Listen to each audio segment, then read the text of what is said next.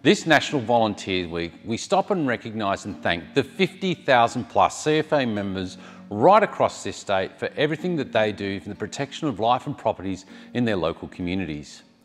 These people give up their time, day or night, all days of the year, to go out and serve their community at their absolute hour and time of need.